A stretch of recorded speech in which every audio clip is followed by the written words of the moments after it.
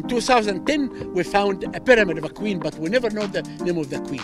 Only yesterday, we found a temple for the pyramid, and we found the name of the queen. Her name was Nit. First time to know this name of the queen in the Old Kingdom. In the New Kingdom.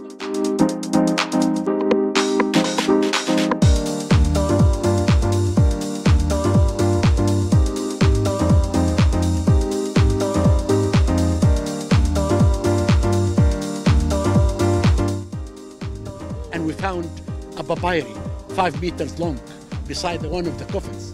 One of the coffins belonged to a, a soldier. We found the axe that used to fight. We found also games like the Senet game. If you win, you go to, to, the, other, to the other world, to the uh, field of Yarrow, this paradise of ancient Egypt.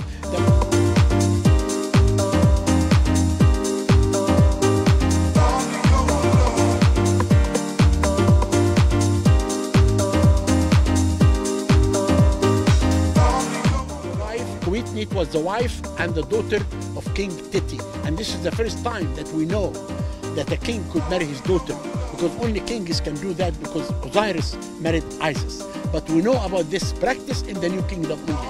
But this is the first time that we have evidence about the marriage between the king and his daughter in the Old Kingdom.